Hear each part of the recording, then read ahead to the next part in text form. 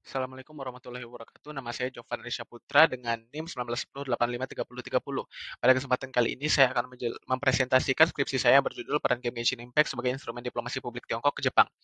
Baik, langsung saja pada latar belakang, Tiongkok dan Jepang merupakan negara yang memiliki hubungan fluktuatif. Namun sejak tahun 1972, hubungan kedua negara mulai membaik karena adanya interaksi ekonomi dan sosial budaya yang terus berkembang. Pada tahun yang sama, pemerintah Jepang dan Tiongkok telah mengeluarkan joint komunik di Peking pada tanggal 29 September. Dan pada tahun 1978, kedua negara menyepakati Treaty of Peace and Friendship yang menyetujui bahwa ini merupakan dasar hubungan perdamaian dan persahabatan antara kedua negara. Selanjutnya, perkembangan online game Tiongkok, di mana Tiongkok mulai meningkatkan perhatiannya dan mengubah kebijakan resmi terhadap online game yang berawal pada tahun 2007. Pada tahun yang sama, General Administration of Press and Publication mengeluarkan regulasi bernama Notice Concerning the Protection of Minors Physical and Mental Well-being and Implementation of Anti-Addiction System on Online Games. Dan selanjutnya dikeluarkan juga regulasi bernama Interim Measures for Administration of Online Games, di mana ini mengatur tentang pengembangan, produksi, serta publikasi online game, pembelian lisensi game luar negeri, serta memberikan sertifikasi legal kepada setiap entitas bisnis yang terlibat. Regulasi tersebut difinalisasi pada tahun 2017, di mana pemerintah Tiongkok tidak akan terlibat secara langsung dalam pengembangan industri game online. Selanjutnya, Enhance China's Cultural Soft Power oleh Xi Jinping, di mana ia mengatakan bahwa dalam upaya memperkuat budaya Tiongkok diperlukan penyebaran budaya dan nilai-nilai Tiongkok modern.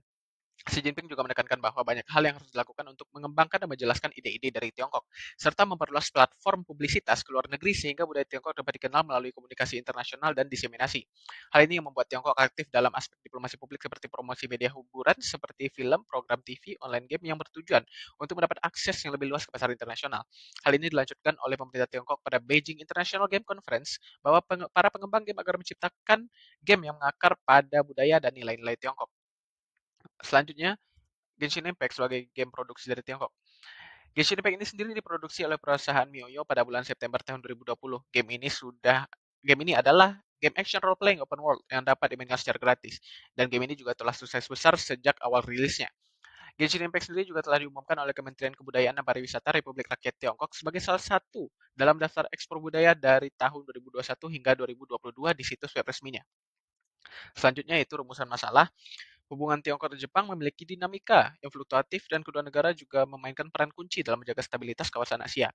Hubungan antara kedua negara ini membaik yang ditandai dengan adanya interaksi ekonomi dan sosial budaya yang terus berkembang. Jepang dikenal dengan budaya populer anime, sementara Tiongkok memasukkan unsur budayanya dalam game Genshin Impact. Dalam game ini terdapat budaya Tiongkok seperti seni opera, desain karakter, dan referensi tempat yang digunakan dari dunia nyata Tiongkok. Di sini dapat kita lihat Tiongkok melakukan penyebaran budaya melalui game ini. Hal ini akhirnya menimbulkan pertanyaan baru atas tindakan Tiongkok, yakni bagaimana peran game Genshin Impact dalam diplomasi publik Tiongkok ke Jepang. Selanjutnya yaitu pertanyaan dan tujuan penelitian.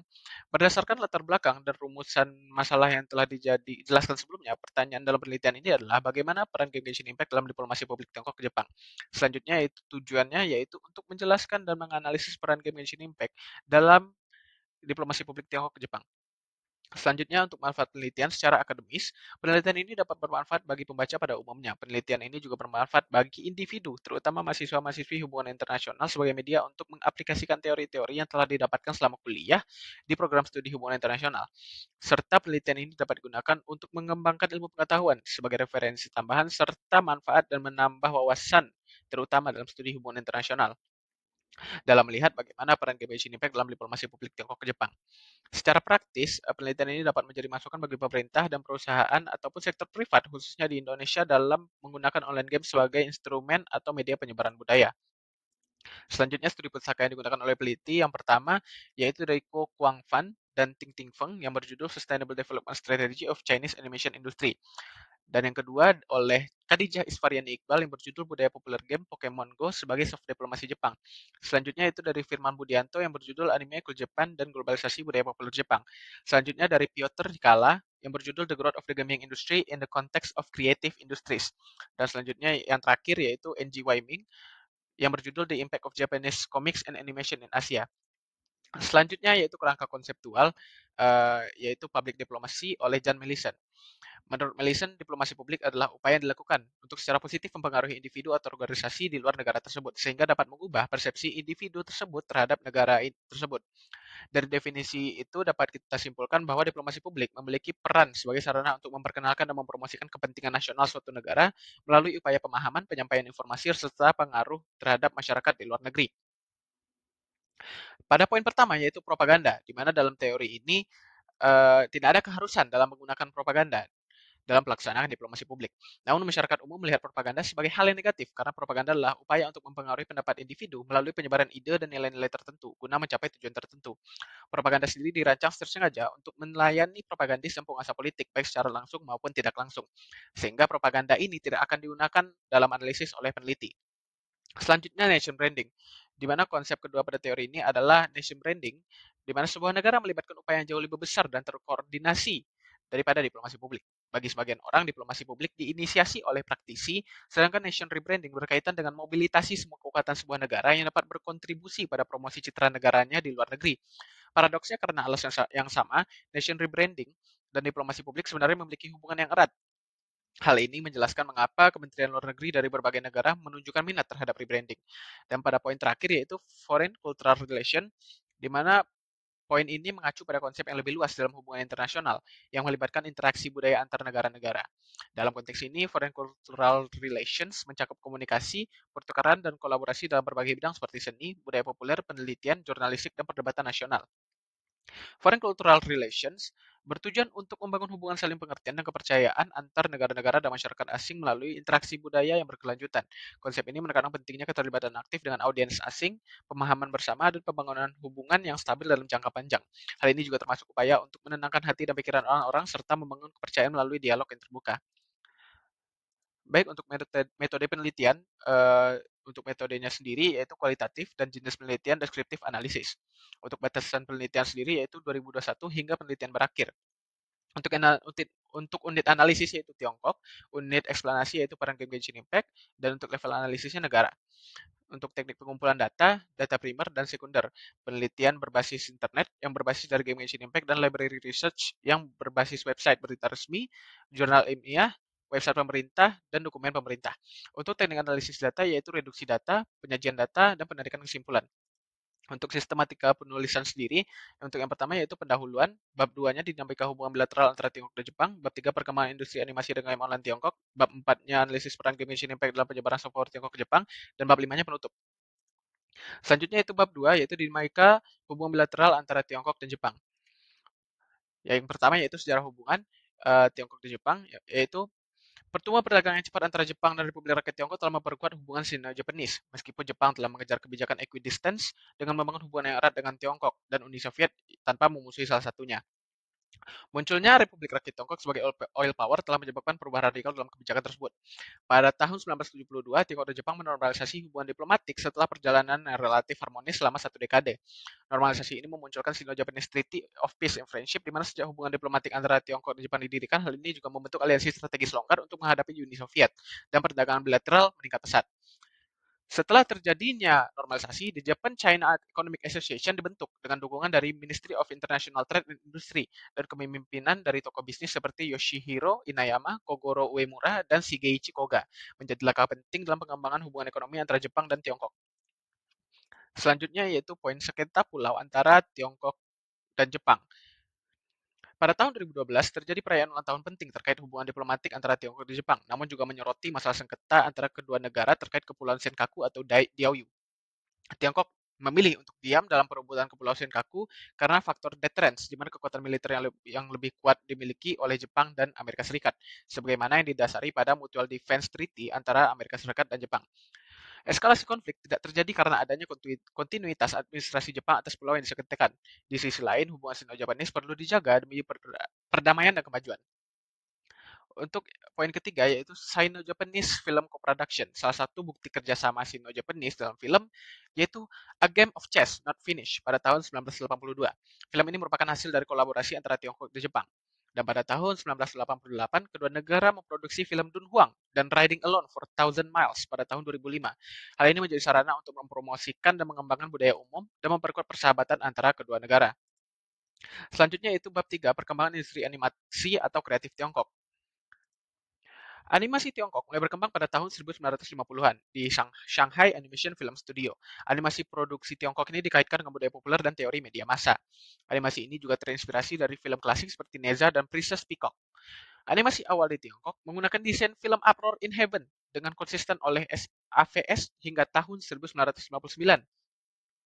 Baik, selanjutnya pada pertengahan 1980-an, terdapat tiga narasi dokumen terpenting tentang animasi di Tiongkok. Selain itu, banyak literatur yang menganggap animasi sebagai instrumen untuk menunjukkan interaksi antara otoritas negara dan representasi gambar animasi dari seni tradisional Tiongkok. Tiongkok sendiri melakukan pengimporan serial TV Jepang bernama Astro Boy untuk mendapatkan perspektif baru dalam pengisahan cerita Tiongkok. Dan pada tahun 2001, Institut Film dan Seni Tiongkok mendorong mahasiswa untuk membuat animasi digital sendiri agar dapat didistribusikan melalui internet. Selanjutnya, pada tahun 2006 diadakan Festival Animasi Mahasiswa Internasional Tiongkok sebagai festival animasi mahasiswa satu-satunya yang ada di Tiongkok. Dan pada tahun 2011, Tiongkok menginisiasi Independent Animation Forum sebagai platform bagi animator independen untuk berbagi karya dan ide. Pada poin selanjutnya yaitu perkembangan industri online game Tiongkok. Budaya online game telah berkembang menjadi bentuk hiburan dan kegiatan budaya yang populer dan dominan bagi pengguna internet. Online gaming di Tiongkok mulai dengan multi-user dungeon yang diciptakan mahasiswa Inggris. Pada tahun 1995, internasional dibangun sehingga MUU di Taiwan menjadi populer. Dan pada tahun 1959, MUU di Tiongkok akhirnya menciptakan uh, akhirnya diciptakan dengan penggunaan terdaftar 600.000 orang. Selanjutnya yaitu uh, masih perkembangan di mana tahun 1998 Our Game didirikan dan berkembang pesat menjadi salah satu situs online game terbesar gratis di dunia pada tahun 2001. Namun Our Game berubah menjadi layanan berbayar pada tahun yang sama. Perfect, Perfect World menjadi game Tiongkok yang berhasil memasuki pasar internasional, di mana game ini mendapat biaya lisensi sebesar 2 juta dolar dari Jepang pada tahun 2006. Dan di tahun yang sama, industri online game Tiongkok mencapai nilai ekspor sebesar 20 juta dolar. Selanjutnya, uh, masih di poin yang sama, yaitu pada tahun 2004 hingga 2008, Tiongkok mencapai pendapatan sebesar 22,9 miliar yuan, serta mengalami peningkatan pasar game ekspor dari 70 juta dolar menjadi 230 juta dolar pada tahun 2010. Dan pada tahun 2011, pendapatan total dari pasar online game Tiongkok mencapai 202 juta yuan pada tahun 2011. Dan pada tahun 2012, pendapatan online game PC meningkat sebesar 32,9 persen Selanjutnya pada tahun 2012, ekspor video game Tiongkok mendapatkan pendapatan bersih sebesar 570 juta dolar dan melonjak ke 3,08 miliar dolar pada tahun 2014. Video game menjadi produk budaya Tiongkok yang paling sukses dalam pasar internasional. Selanjutnya, pada tahun 2016, perusahaan game Tiongkok MiHoYo merilis game Honkai Impact. Perusahaan ini didirikan pada tahun 2011 oleh tiga mahasiswa yang berminat pada anime. Dan pada tahun 2020, MiHoYo merilis game Genshin Impact, di mana game ini menjadi populer dan menghasilkan pendapatan yang signifikan di industri game Tiongkok. Genshin Impact menghasilkan pendapatan sekitar 353 juta dolar pada dua bulan pertama dengan pendapatan harian lebih dari 6 juta dolar. Game ini telah sukses secara global, di mana game ini juga pernah bekerja sama dengan uh, merek Tiongkok yang bernama Haiti dan juga pernah bekerja sama dengan KFC dan Pizza Hut. Selanjutnya, Genshin Impact sendiri memiliki konten dan karakter inklusif, mewakili berbagai budaya dan membuka peluang di pasar global. Konsulat Tiongkok di Osaka pernah memposting beberapa karakter dalam game ini untuk merayakan tahun baru Imlek. Game ini sendiri juga telah memenangkan penghargaan emas dalam acara kampanye Top 10 National Intellectual Property, di mana penghargaan ini menunjukkan pengakuan atas kesuksesan dan pengaruh Genshin Impact dalam di industri game. Selanjutnya yaitu kita memasuki bab 4, peran game Genshin Impact sebagai instrumen diplomasi publik Tiongkok ke Jepang. Yang pertama yaitu uh, peran Genshin Impact sebagai instrumen nation branding Tiongkok. Genshin Impact yang terkait dengan aspek pariwisata dalam nation branding, Tiongkok sesuai dengan poin yang dijelaskan oleh Melisande. Hal ini dapat dilihat dari pengimplementasian tempat-tempat wisata Tiongkok dan referensi asli dari Tiongkok yang digunakan oleh perusahaan Oyoverse dalam pengembangan game tersebut. Aspek pariwisata ini terdiri dari dua tempat, yaitu Huanglong Biosphere Reserve dan Zhangjiajie National Forest Park. Hal ini juga sejalan dengan pandangan Melisande di mana strategi nation branding merupakan strategi yang praktis, rasional, dan menarik untuk menonjolkan identitas dan citra negaranya. Genshin Impact sebagai media hiburan yang populer menjadi platform yang praktis bagi Tiongkok untuk mempromosikan pariwisatanya. Melalui game Genshin Impact dengan implementasi Huanglong Biosphere Reserve dan Zhangjiajie National Forest Park. Hal ini dapat mempromosikan daya tarik pariwisata Tiongkok kepada para pemainnya. Selanjutnya, implementasi, aspek pariwisata dalam game Genshin Impact. Yang pertama yaitu Huanglong Biosphere Reserve. Destinasi ini ter, destinasi wisata ini terkenal dengan kolam-kolam berwarna yang terbentuk oleh endapan kalsit, terutama di Huanglonggo, serta ekosistem yang beragam. Selain itu, tempat ini menjadi rumah bagi banyak spesies ter yang terancam punah. Selanjutnya, implementasi Huanglong Biosphere Reserve dalam game Genshin Impact. Penerapan ini memberikan dampak positif terhadap pariwisata Tiongkok yang dilihat melalui peningkatan signifikan jumlah wisatawan Tiongkok ke provinsi Sichuan ini.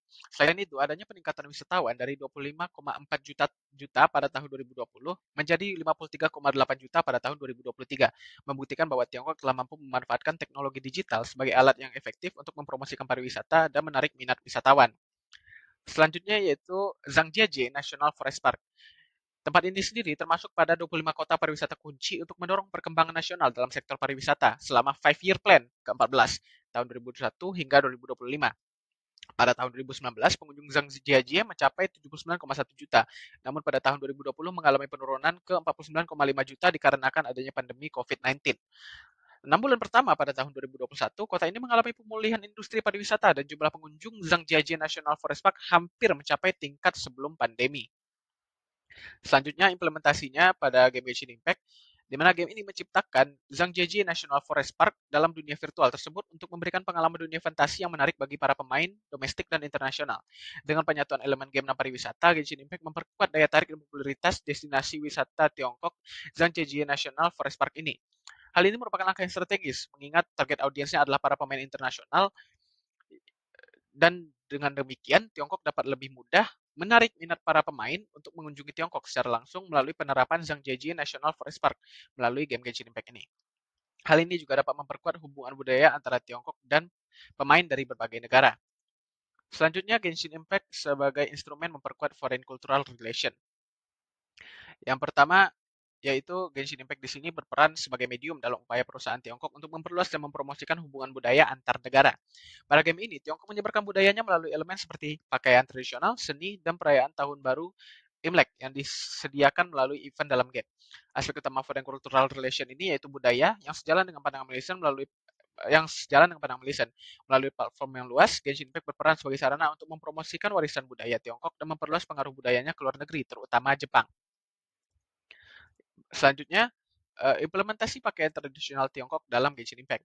Di sini dapat kita lihat bahwa karakter tersebut menggunakan pakaian kipau yang dianggap sebagai simbol identitas wanita Tiongkok. Kipau sendiri telah bertransformasi menjadi pakaian nasional yang mencerminkan adaptabilitas, keberagaman, dan inklusivitas budaya Tiongkok. Kipau memiliki makna filosofis berdasarkan warna, pola kain, dan lain-lain. Hal ini melambangkan harapan akan kebahagiaan, keberuntungan, kekayaan, umur panjang, serta kerinduan akan keseimbangan hubungan sosial dan harmoni dengan alam. Dengan menghadirkan pakaian tradisional kipau, Tiongkok berhasil menarik minat dan perhatian para penggemar game di berbagai negara, termasuk Jepang, dengan tujuan untuk lebih mengenal dan menghargai budaya Tiongkok layaknya budaya populer Jepang. Hal ini juga sejalan dengan tujuan diplomasi publik oleh Millicent dalam memperkenalkan dan mempromosikan warisan budaya ke dunia internasional. Selanjutnya itu implementasi, implementasi seni opera dalam game Genshin Impact. Di sini terlihat bahwa perusahaan Tiongkok ini menyebarkan budaya seni operanya yang ditampilkan melalui event game yang ditujukan untuk meningkatkan citra positif Tiongkok.